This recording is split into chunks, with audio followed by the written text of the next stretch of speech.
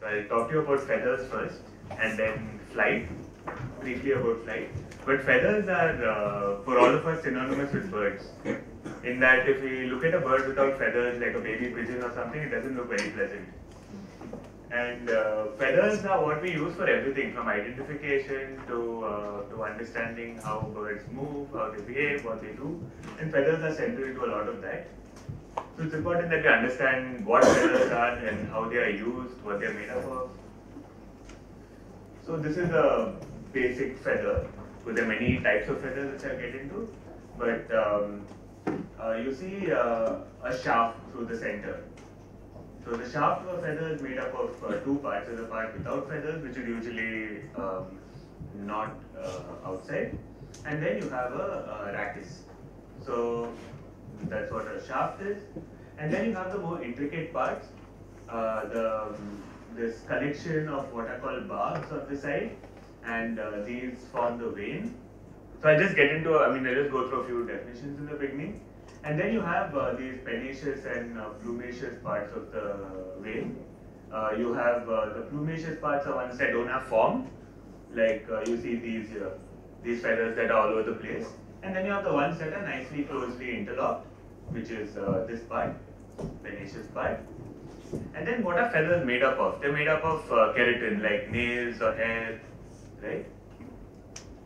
the form of keratin that that's there in a feather is unique to birds. This, in a sense, the beta keratin is there in both birds and reptiles, but this particular form is unique to birds. Uh, so um, this is what a bird without feathers looks like. But you see some uh, some raised parts here. You know, all of these uh, some raised spots everywhere. So these are what are called feather follicles. This is where feathers come from, or uh, feathers emerge from, and these are what hold the feathers in place. So they're small epidermis lined pits that develop in the embryo, right? And that's where the feather remains. Uh, so this is what it looks like if you uh, get further in. There is something called an epidermal collar.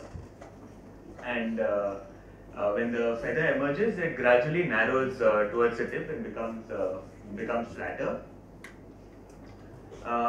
so when a feather emerges, it's not many, so you have all the vanes, all the barbs, many different parts to feather, right, that come together. These are not separate um, parts that are forming independently. In in that uh, they're not forming all from the feather. They all form from the uh, from the epidermal collar itself. Uh, so you have all of these uh, all of these barbs forming uh, barbules actually, the smaller parts of barb forming independently in a concentric way from the tissue in the epidermal collar itself. And they all uh, finally as the feather grows they all fuse into one. They all fuse into the rachis right? And then they interlock to form one uh, to form the feather. And um, so these barbs continuously emerge and fuse until the vane finishes growing so the vane is the feathery part of the feather uh, so the growth just to summarize growth is generated by just this one ring of multiplying tissue grows concentrically everything fuses barbules fuse into barbs, barbs fuse with each other forms the vane. Initially, there are blood vessels at the, um, in the epidermal collar which uh, provide some nutrition for the cells, right, that are developing. But eventually, the blood supply is cut off, the feathers uh, is effectively dead. Uh, and uh, before the feather is ready, you have a sheath around it. You can see the sheath here. So, and the feather is emerging from the tips. So, eventually, the, the sheath either dries off or uh, birds pick at them while breeding, etc., young birds, I mean, or immediately after the feathers form, and they remove these uh, sheaths. It's a waxy covering. So, this is briefly how a feather forms and what a feather is, but it looks like it's a really intricate process, all well designed. So, do feathers have faults? So, uh, sometimes feathers uh, do have faults, as you can see. This is a feather of a carrion crow found mostly in Europe. Uh, and there are main, I mean, there are many places where the feather hasn't formed completely, hasn't uh, interlocked correctly, there are parts that are missing, etc. Uh, so what happens when there is a situation like this? And uh, when does it happen? So there's some research that uh, says that when uh, there is stress when a feather is forming, these faults form. And there's a study that, so I don't, need, I don't think this is visible here, but this is a bacterium, this uh, yeah, Campylobacter, and they found that uh, for pigeons again, a lot of the research is with pigeons. Uh, so they found that with pigeons without the bacteria fewer fault, uh, fault bars than pigeons with the bacteria. So any kind of stress, whether it's infection or um, higher temperature or anything that is uh, difficult for them to cope with. And these fault bars are known to reduce fitness. And uh, birds generally have more fault bars on less important feathers. So if you have um, if you have wing feathers and tail, so generally there are more fault bars on the tail than the wing because birds can cope with them more easier, more easily. Uh, so these are the different kinds of feathers that are there on birds. Um, you have these long tail feathers and wing feathers, both um, somewhat similar. I'll get to them. Uh, and then uh, down, which all of us are familiar with. We see them falling around the houses, etc. Again from pigeons, and uh, various other kinds. I'll get to these in detail, so I won't spend time on this. So these feather types are extremely important because the combination of these feather types with uh, with uh, with light, with uh, wind, water, etc., uh, help birds perform different functions. Anything from color to how they move to how streamlined they're able to uh, to how they're able to avoid water, remain waterproof, etc. Uh, so I'll start with down feathers. So these are the soft, fluffy ones, right? They usually lack a rachis. So all the down feathers just emerge from the from the tip. Uh, you see this uh, baby albatross here, this is lined with down feathers, and they um, provide insulation. So it's generally all over the body of a uh, young bird, but they're also there in uh, in adults, some parts of the adult body, and uh, this is what it looks like. So again, you have these barbs and barbules, but uh, they are not fused together. They don't have any shape. They're just all over the place. Uh, then you have, uh, so part, uh, in down feathers, you have natal downs, which is um, what is there in this young albatross.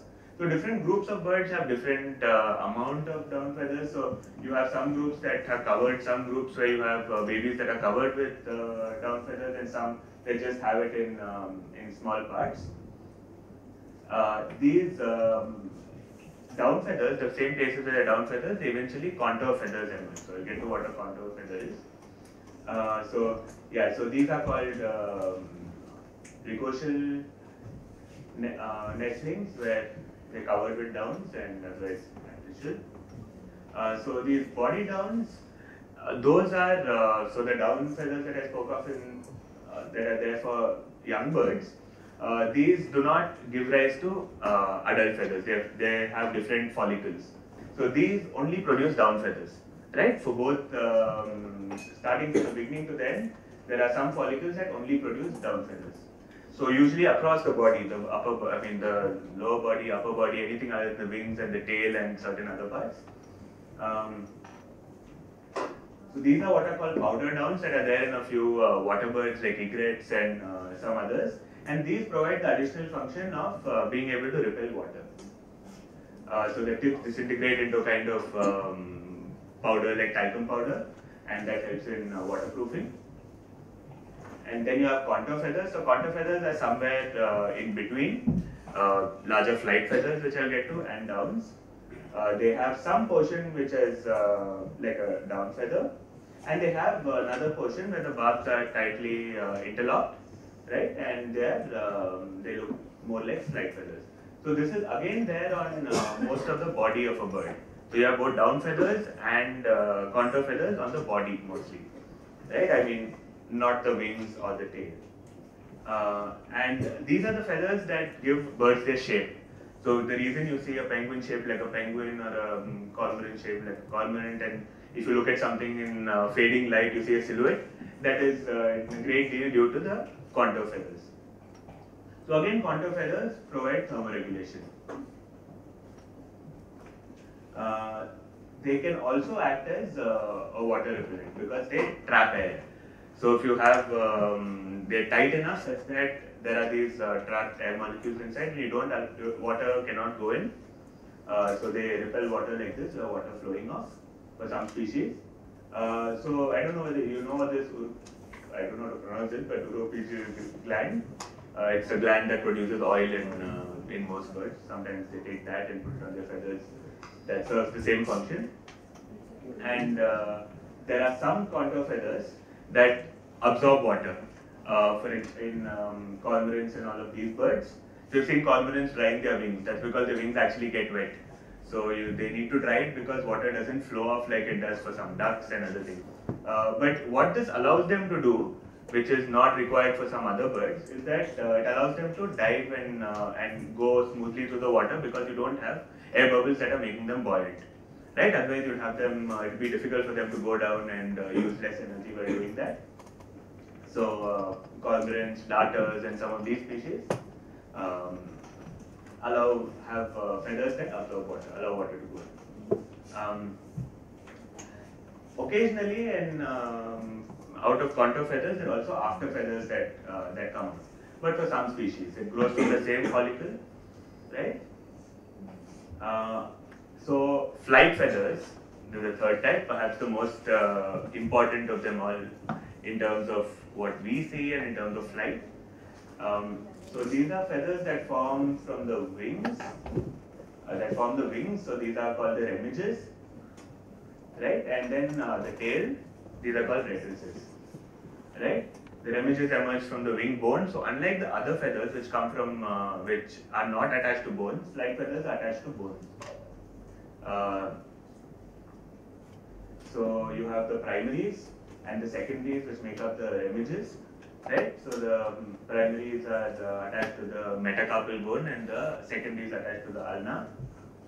And then you have uh. So these are all about the um, remiges. So these are the coverts.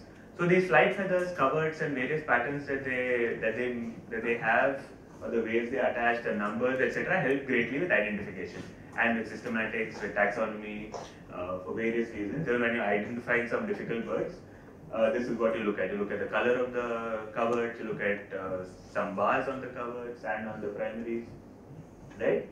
And usually there are 9 to 12 primaries, 8 to 32 secondaries. Yeah, and these uh, coverts that serve the function of uh, protecting the base of the, covering the base of the uh, mm, of the primaries and secondaries. Um, yeah. And then there are semi-plumes. So semi-plumes again um, are something in uh, in between, right? And uh, something in between, something like a plume, and they mostly provide insulation. So unlike uh, down feathers, where the the uh, is um, shorter than the longest barb, right? The barbs are what comes out, or the plumes. Here the rac the rachis is longer than the uh, longest barb. Uh, then there are bristles. Um, have you seen birds with bristles? Flycatchers have bristles. Some uh, there's a bristled grassbird in India. Quite a nice uh, rare species. So you see next to the beak you have these bristles coming out. Hmm? Also, barbets also have bristles. Yeah. Uh, so these uh, these bristles are supposed to. I mean, it's a little unclear uh, what the functions of bristles completely are, but uh, they're thought to help in uh, in detecting objects and in protection. Yeah. And um, some birds have eyelashes like hornbills and some others. So again, eyelashes are also bristles. So what what is a bristle feather? You, you have it's where the rachis is uh, rachis lacks barbs, and you just have something coming out of the base. So you don't have any barbs coming out after that. So which is how it forms these uh. Uh, then you have filoplumes. Very these are the smallest feathers, and um, it only has a few barbs, if at all, right at the top. But the important ones are the down feathers, contour feathers, and uh, flight feathers. These are the most important ones for the bird. So now that we know what types of feathers are and how feathers are uh, formed, um, there is there are entire cycles where birds uh, replace their feathers. Like hair, they cannot be repaired, but um, unlike hair, you cannot keep growing it. Right? Hair is grown whenever you feel like, but feathers can only be grown. Um, they're grown very rapidly and at um, a few times, not all the time. Um, and they deteriorate with use, right? Feathers, especially with flight, we don't use our uh, keratin structures as much, but birds are continuously using their feathers and uh, they get worn out. Uh, some of it gets broken, etc. And when you have um, long migratory journeys to make, and um, I mean, long distances to fly, you need feathers that are in top shape. So these feathers need to be replaced. So when uh, feathers are replaced annually or um, biannually in some cases, or um, maybe one and a half times a year, I'll get to that, it's called molting. So molting can be complete or partial. So um, a complete molt is when all the feathers are replaced, right? Uh, partial molt is when only some feathers are replaced and some are retained. There is an initial molt after a, uh, when a chick is um, chick replaces feathers, going from a hatchling to what uh, to at least um, adult appearance. Uh, that's called the um, pre-juvenile molt. So it's called juvenile, unlike juvenile, which is what the bird is referred to.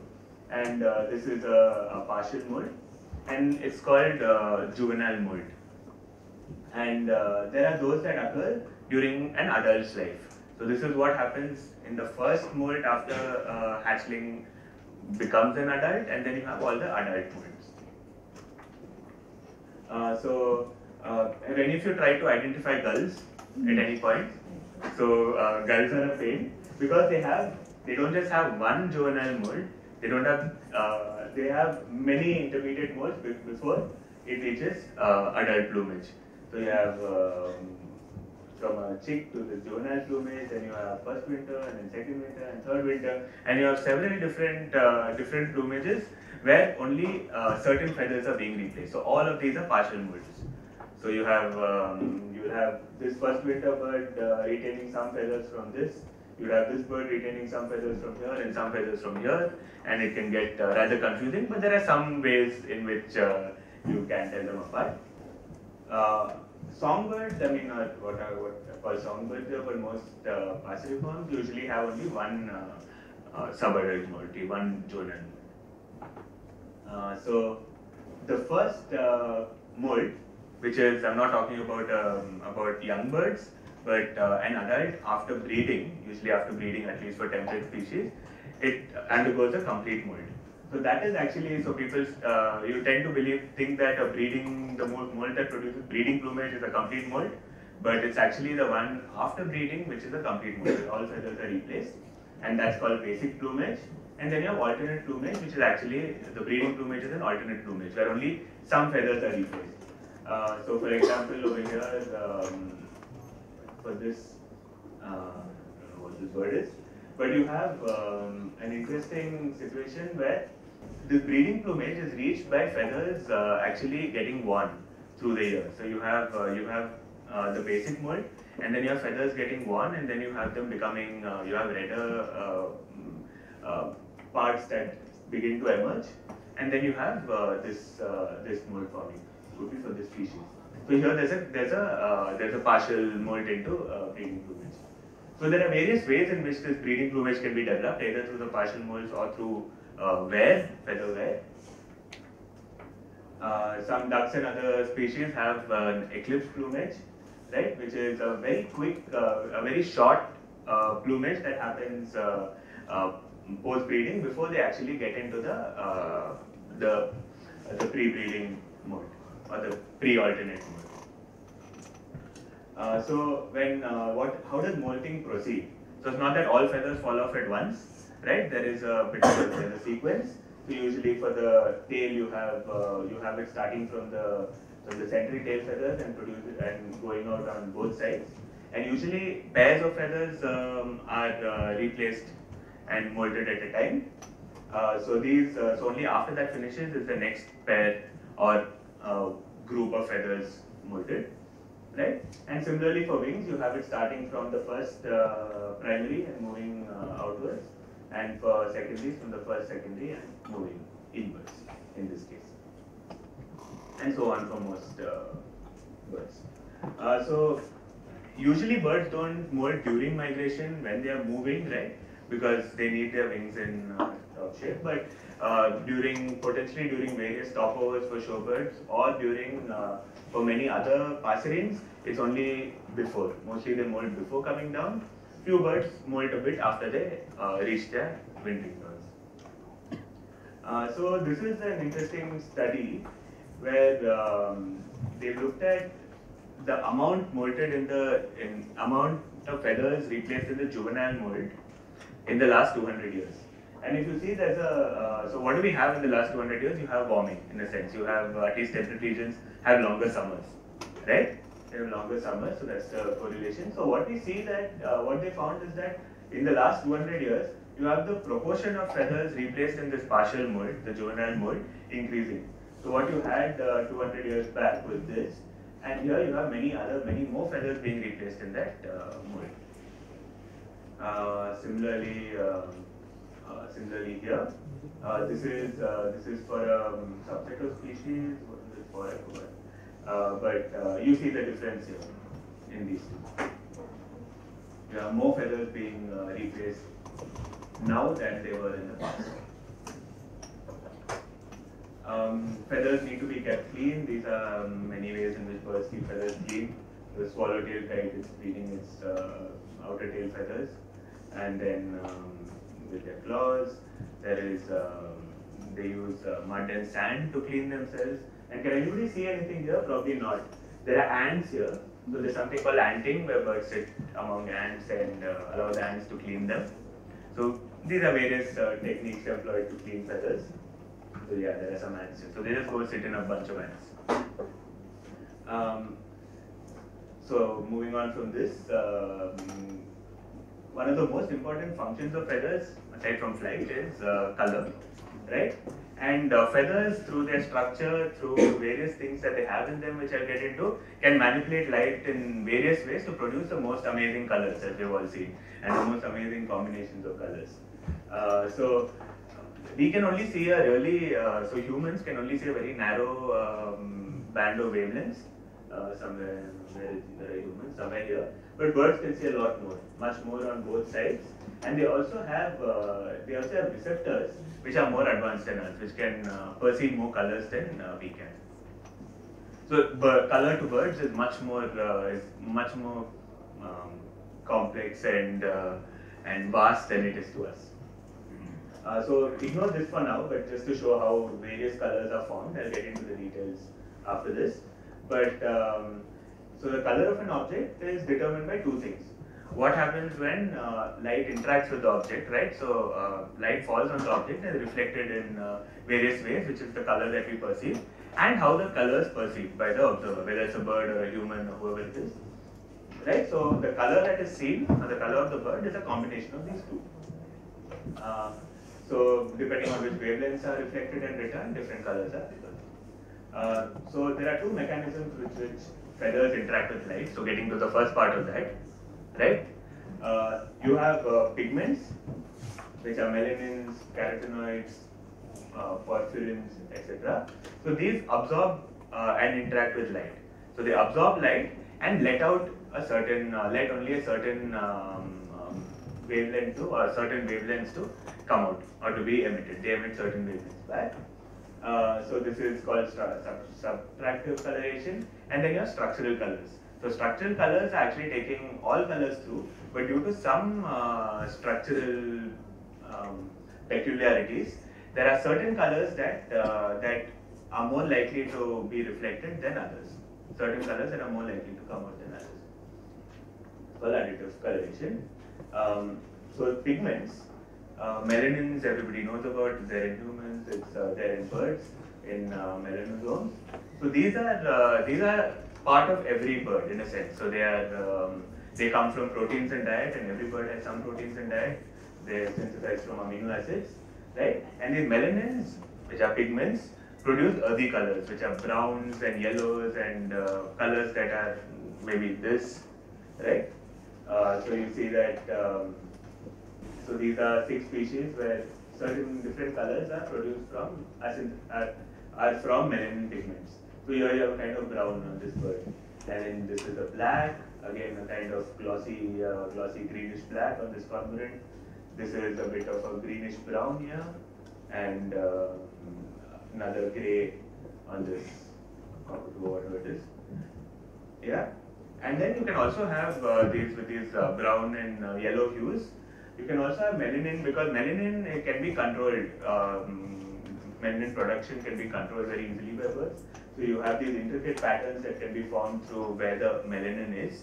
So basically what it's doing is it's taking, it's absorbing some color and, and allowing some color to be emitted or reflected. Uh, so some lovely patterns through melanin. Uh, and then you have carotenoids. So these uh, carotenoids help produce all the fancy colors, the yellows and the oranges and the reds, uh, some of the nicer colors. But the difference between uh, between melanin and, and carotenoids is that carotenoids, like Anand was saying earlier, is uh, comes from the diet, right? It comes from the food they eat, and it, uh, if you have a bird and isolate it from its usual food at a young age, it will not be able to develop that color. It may not be able to survive as well, but it will not be able to develop that color. These are synthesized only by plants, plants, fungi, uh, algae, etc. Right? So you need to either get it directly from them or need to get it from some um, animal that is feeding on uh, on plants or fungi. Right? And then like the birds uh, indirectly can get those carotenoids. So once they are there, they deposit it and they can uh, produce colors like the yellow on this uh, this bird here, right? I didn't mention this, but this uh, this is from structural color, but I'll get to that. Uh, then, um, so for example, again carotenoids. So these uh, these Cedar waxwings, uh, the yellow at the tip of their tails is from carotenoids. But interestingly, they, uh, there's a study in uh, in US where there was a population of Cedar waxwings that uh, that started feeding on an invasive tree, an invasive fruit. What was it? So some honeysuckle, and then they weren't able to synthesize um, that pigment from that, and then the tips for that population was uh, reddish, so they weren't able to get yellow out of it. Right, so the tips were reddish. So it depends on the diet. Again, all of these yellows and uh, reds here are from pigments. Uh, and then you have a rarer pigment. So we've gone through two. There's a rarer pigment called porphyrins, right? And these are again synthesized from proteins, but not present in uh, most birds. Most birds do not do this, but they can produce some spectacular colors: uh, reds, browns, greens, and pinks. Like uh, this uh, Turaco, I think. All the lovely colors on this bird are from uh, porphyrin pigments, right? And uh, this is an owl actually, the inside of an owl, um, the, the wing of an owl, and in uh, UV light it uh, shines pink, and that's again through uh. So um, greens, you see a green here. Uh, although this is from a porphyrin, greens are usually formed from uh, from yellow pigments interacting with blue structural colors. I'll get to the structural colors. Uh, so these porphyrins, unlike some of the others, degrade very easily in uh, UV light, and they can be used to age feathers. So some studies, I mean, some at least owls sometimes they age through uh, the amount of porphyrin remaining. Uh, structural colors, starting off with blue. So most, uh, no, okay, I'll start off with white. So structural colors can be of two types. Uh, there are there's incoherent scattering. So as I told you, uh, light comes in right? And here there's nothing to absorb and reflect anything in particular, but light comes in because the structure of the feather, because of uh, where the air molecules are, where the keratin is, uh, where uh, the pigments themselves are, all the pigments are not absorbing this light, where the pigments are, uh, light can be emitted in uh, only certain wavelengths are sometimes emitted. And usually it's the lower wavelengths like blue, right? So you have blue being a very dominant color, but there's something called incoherent scattering, where or this uh, this really uh, intricate structure is not um, intricate enough and is somewhat random, right? So what's happening is all the light is going through and um, random wavelengths are brought out. So effectively, if you look at the sum total of everything, all wavelengths come out. So if all wavelengths come out, what do you have? You have white, right? So all of these whites, you know, so you see in uh, some breeding plumage of some birds or even with uh, egrets and, and some others, all of that is through uh, incoherent scattering and that's the structural color. The white is a structural color there. And uh, this incoherent scattering cannot produce blue or any real, uh, any more, any color other than that. But then you have coherent scattering. So again, uh, with the keratin, melanin, air bubbles, they're intricately arranged, all very um, non-randomly arranged in a sense, and such that only certain wavelengths come out. So this blue. You see a very, uh, very um, homogeneous structure in a sense. So this is called quasi-ordered, this air bubble keratin matrix. So this air bubble keratin matrix that mostly brings out structural colors. Uh, so this is an interesting case where you have, I think this is the same budgerigar species, seen them in many cages and you see various colors. And I've also wondered at various times whether they're actually different uh, uh, species. But what we have are uh, actually different, um, all you need are different um, combinations of what we, yellow, which is from a pigment. This is the coherent blue, which comes from, comes from the structure, which comes from the air keratin matrix. And then you have uh, which, which is the melanin. So melanin is below. So you have the melanin, you have the keratin matrix, and then you have the pigments. So this, uh, uh, what you see, this green that you see on this budgerigar, right, is a combination of blue from the uh, from the structure, right, from the structural colors, and yellow from the pigments. The two of them in combination produce green. As I said earlier, it's usually not the porphyrins, etc., that produce green. And then you have the black, etc., from the melanin. Uh, then over here, uh, you have blue, so basically it lacks the yellow pigment. So if it lacks the yellow pigment, it will immediately be blue. Uh, here, it lacks melanin. So it's almost completely yellow, and then you have an incoherent white, if you notice. So this is why it has these um, these white patches, and otherwise there would be green parts also of the bird. If you have uh, yellow interacting with, uh, with a coherent blue, it would be green, but actually it's incoherent white, right? So there's no clear structure. It's all random light is randomly emitted from it, random wavelengths. So you have yellow and white, and this is only incoherent white. It lacks pigments. It lacks melanin. It lacks um, yellow pigment. It lacks everything, and therefore it is white. Uh, so so these blue structural colors uh, can appear a little uh, different if you look from uh, if you look from below. So if you look from below, you're mostly uh, you're going to see the uh, the melanin is already filtering what you're seeing. So you're going to see something more brown, right? Unlike uh, pigments, whichever direction you look at look at a feather from is going to look the same, right? Because the same thing, yellow is still uh, pigment is absorbing some colors and emitting yellow. Uh, but um, if you look through the melanin, you're likely to see something different from when you look through the yellow pigment. Uh, so then there's also iridescence, right, which is again from again a structural uh, phenomenon. Uh, so you have um, it changes with light, right? Iridescence, that's what it means. You look at it from this direction, it shines in a particular way. You see greens and blues, and in the in another direction, you see a blackish purple potentially. So that is um, again because of how light interacts with this entire air keratin melanin matrix. Uh, so um, feathers also have, uh, I mean, uh, color in feathers also has some uh, visual function. Uh, I'll just go through some of them. You have disruptive coloration, which um, which means that uh, predators cannot see them. They uh, camouflage with the en- environment. Uh, then you have uh, something called counter shading, which is, uh, I think, uh, when you look at when you have a predator coming down, say this gull is it, coming down to hunt whatever this is in the water. Um, you have um, they have white underwings. So the white underwings uh, camouflage with the okay camouflage with the uh, sky in a sense. It's not visible. Uh, then you have uh, social coloration and signaling, all the breeding adaptations uh, for display, etc. And then you have uh, these really rare adaptations which are uh, poisonous, this uh, aposematic coloration. So these are the same toxin, it has the same toxins that are there in poison arrow frogs. And then you have uh, sexual dichromatism, right, which you don't know about. I'll quickly get into flight. So flight, of course, is a really spectacular phenomenon. But um, birds are fighting against various forces to fly, right? You have uh, gravity, how do they go up from the ground and stay aloft when there are so many, um, there's, um, there's wind and so many other factors at play. Uh, so um, this is, uh, there are two basic aspects to this. So there's, uh, there's lift, right? The force acting on the moving bird perpendicular to the airflow. So this is the wing.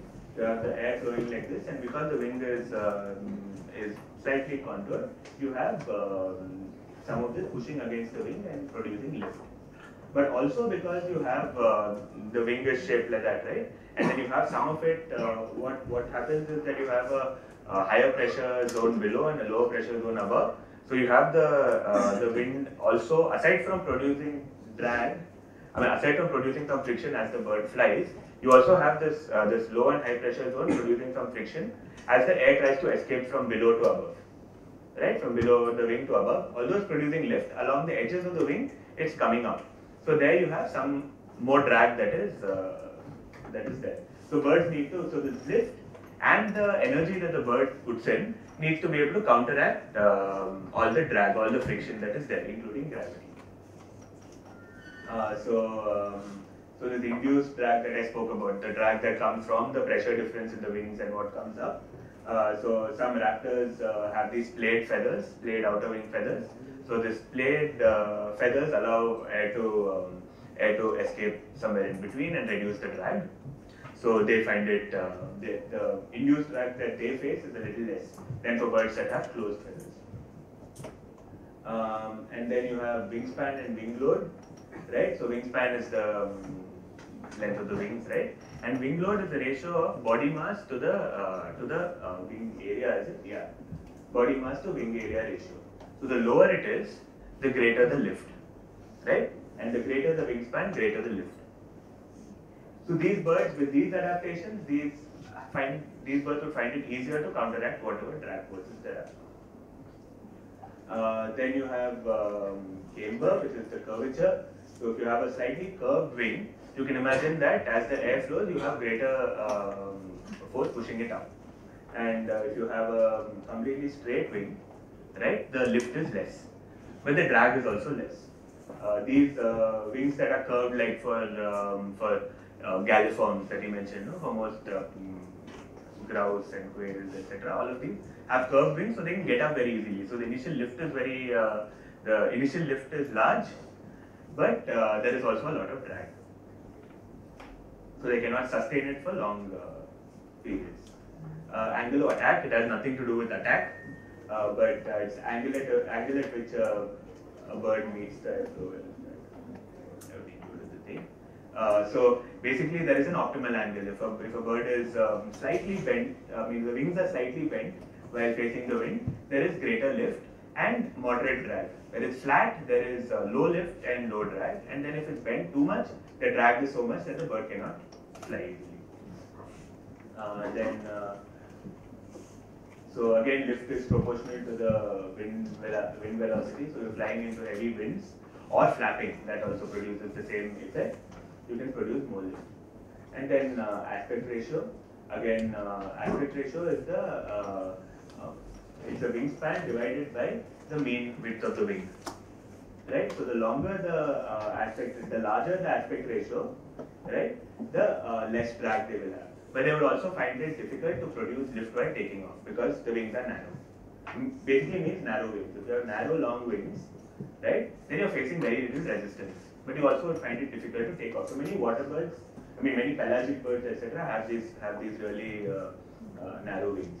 But something like a, like an accipiter, right, like a shikra or a sparrow or some American um, uh, these have slightly wider wings, smaller uh, aspect ratios, and uh, they would find it more easy to maneuver and go through uh, take off, etc., they go through.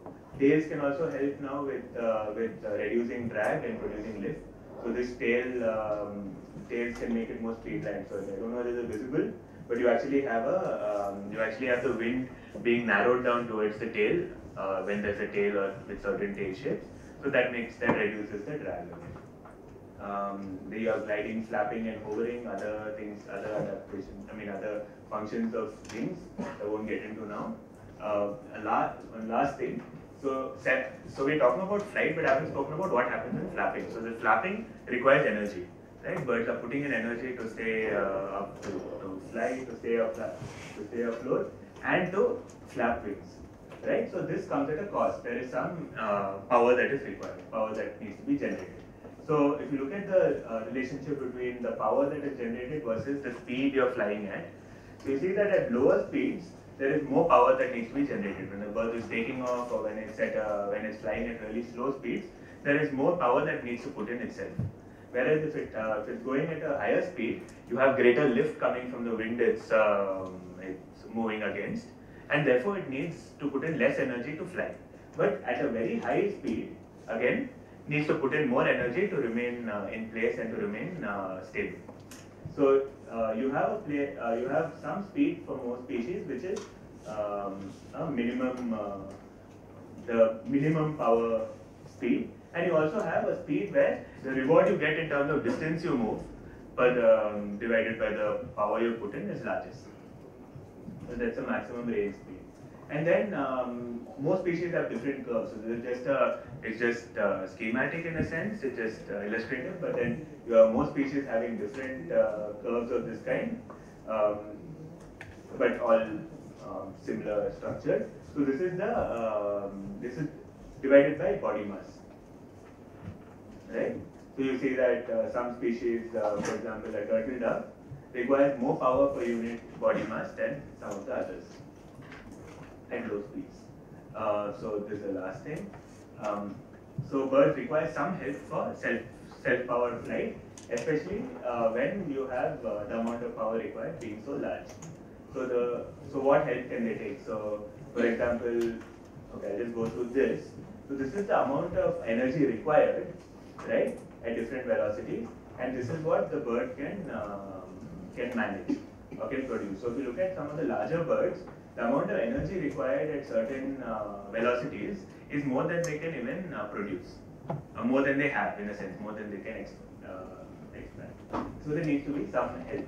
So that's why a lot of the larger birds use thermals, they use um, air currents. Some of the birds mostly use air currents to be able to move around and to use that energy, that kinetic energy, to uh, to also supplement their uh, need to put in their own energy, right, to be able to fly. You have uh, so many uh, corvids do this. They fly against fly against slopes. When you fly against a slope like this, you're meeting a wind that is coming upwards, so you get get more lift. So you need to put in less effort to being uh, to being able to stay up.